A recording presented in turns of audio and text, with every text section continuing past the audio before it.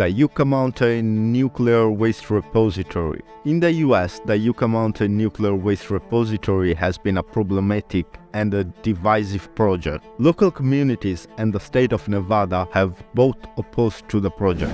A mega project that was planned in light of a delicate global issue will round off this list. Compared to other environmental issues, nuclear waste is not as frequently discussed. It can be more deadly than anything ever since the dawn of humanity, though if not sorted properly. Nuclear waste is being kept above ground close to the power station it originated from. The scientific community does concur that burying this hazardous material far underground is the safest method for long-term disposal. The American government began looking for a long-term solution to this pending garbage issue in 1980s. Nevada's Yucca Mountain was chosen as the best alternative in 1987. 11. It was far from any population centers and close to the most popular nuclear testing site in the USA. The trash from all around the nation was to be dumped in a tunnel complex that was located about 300 meters beneath Yucca Mountain. Yucca Mountain is not just a remote location,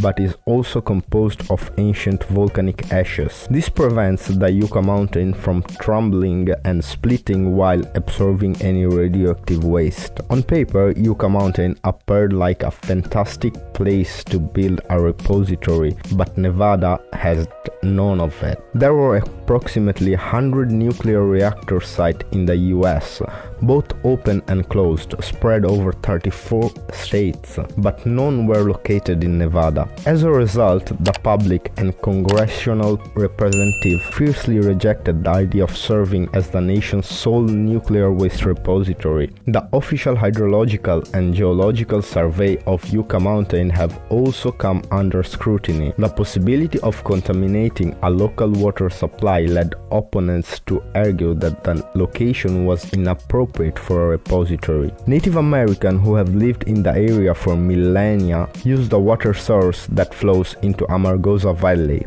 The Department of Energy resumed construction after the project was approved in 2002 despite resistance. Nevada, though, only grew more hostile. They argued that frequent exposure while traveling would stigmatize Nevadans and hurt the state of tourism industry. According to the opponents, Nevada's lesser population and reduced representation in Congress are the main reason that the state is receiving the repository. The project was already heavily politicized by the time Barack Obama took office, and in 2010, the Obama administration decided it was no longer viable and stopped supporting it. A federal judge ordered it is restored three years later, but since then, little has changed. Yucca Mountain is no longer a part of the country's ambitions, according to the Biden administration. After 40 years, Nevada looks to have prevailed. The Yucca Mountain project took decades to plan,